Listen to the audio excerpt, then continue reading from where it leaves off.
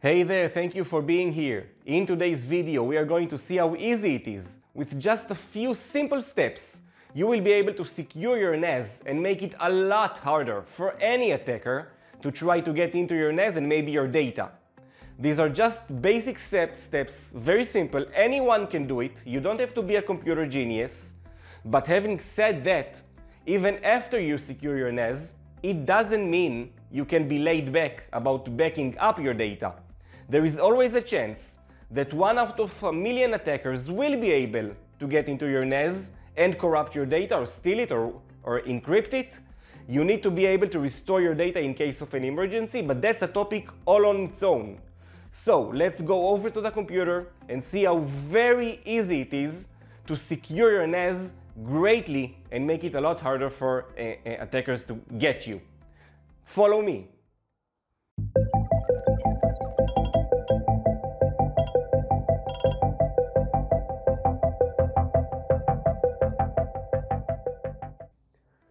Hey guys, so we are at the computer and I'm sorry if I'm sounding a bit nasally today, I'm suffering from a congested nose, sorry.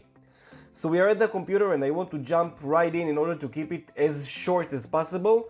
I want to jump through the steps with you on how we can strengthen the security and posture of our Synology NAS.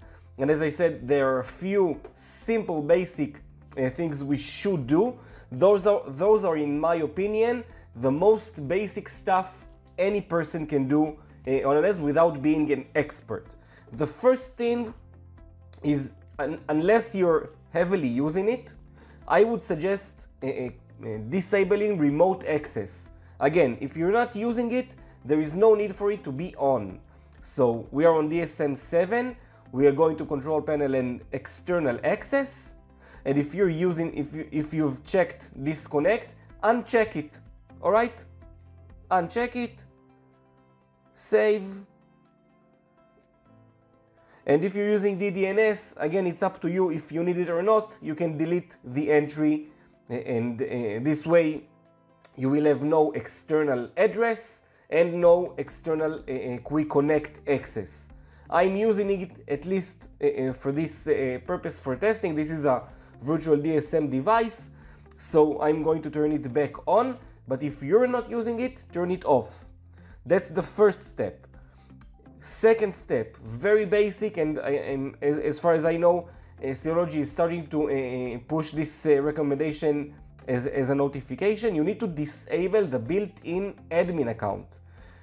If you are if you are using the built-in admin account, what you should do right now is to create a new user, and let's call it demo admin give it a password. Make sure it's a strong one. All right uh, that, that's another recommendation. Click on next. Add it to the administrators group.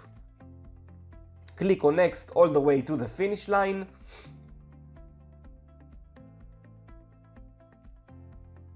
And now that you have this uh, uh, demo admin account uh, created, you need to log out if you're using the default admin account, log on, uh, log out and log in using the new account that you've just created. Go into the admin account and click edit and check the disable this account. The reason this is a recommended step because that's the first account attackers will try to brute force with. So instead of giving them 50% of the account they need to, uh, to hack, we'll just disable, disable it and create a new one. That's the second step. The third step is something that is uh, the Achilles heel of almost any organization, home or business, and that's the password complexity or lack of password complexity. We'll go into user and group on the Advanced tab and we need to select Apply Password Strength Rules.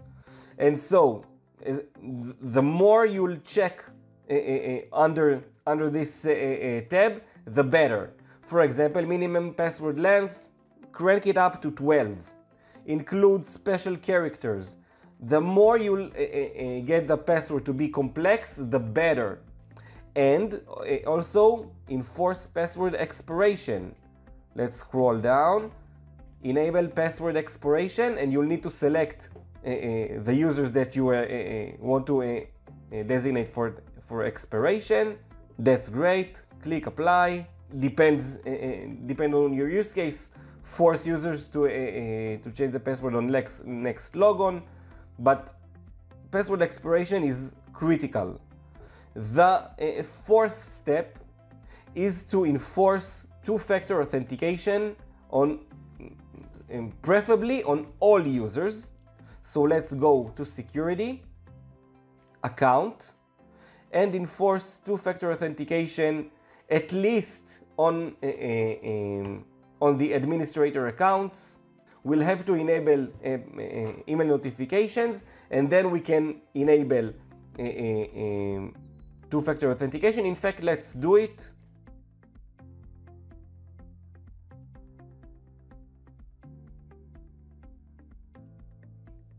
Alright, so we have enabled uh, email notifications. Let's go back to security, account, enforce two-factor authentication, at least on the administrators group, if not all users. Click apply. The users will have to configure their uh, two-factor authentication. And of course, we'll circle back to that. We'll create a regular account. We log out, log into this device and see uh, how two-factor authentication is, uh, is configured.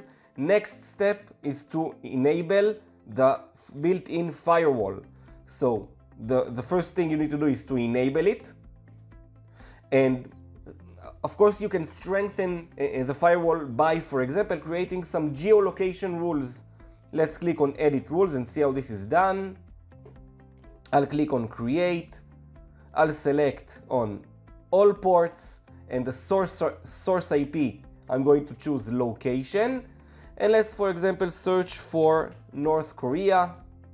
We don't want anyone from North Korea to be able to access our device, not even try to access our device. We'll select the deny. And now we have created a rule that will block any device trying to reach me from North Korea right out of the gate. That's the fourth rule. And we, uh, we are going to the fifth rule, enable, enable auto block and uh, DDoS. Let's go back to security. Sorry, to the account tab, account protection. Enable account protection. This will this means that the account uh, will be locked against five failed logon attempts for one minute that's something that uh, really helps prevent dictionary brute force attempts. That's the first thing.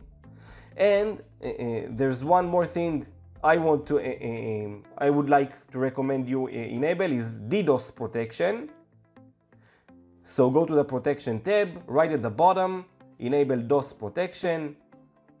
This will help against denial of service attacks. Um, the matrix or the um, or the amount of um, attempts that are configured, that are, sorry, that are accounted as a DDoS attack is something that is not exposed to us, but it doesn't matter. Best practice or best recommendation is to enable it. And the last thing is something that I do recommend everyone should use.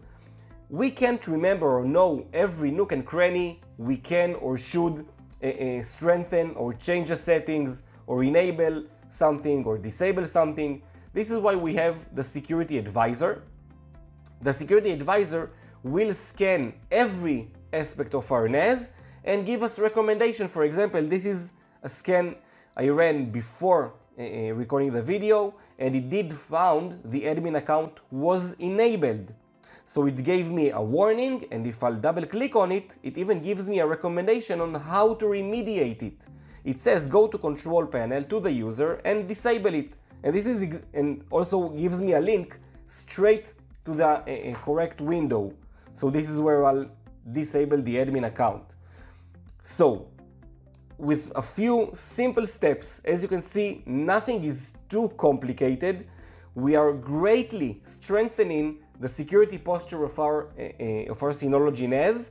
And I really think that everyone, a tech savvy or a, an untech savvy person, should go ahead and be able to do this uh, kind of, um, let's say, first aid preliminary steps. Having done all these steps, I want to make it as clear as possible it doesn't mean that you can be laid back about backing up your data. You need to back up your data. You need to prepare to the day that someday someone will be able to hack you or you will be infected with a, a, a, a, crypto virus. You need to have your data backed up somewhere you can restore it from. So that's a whole other topic on its own. If you like this video, please give me a like, it will really help this channel with the uh, YouTube algorithm. Join our Facebook groups, subscribe uh, uh, to the channel, and I'll see you all in the next video. Bye bye, thank you.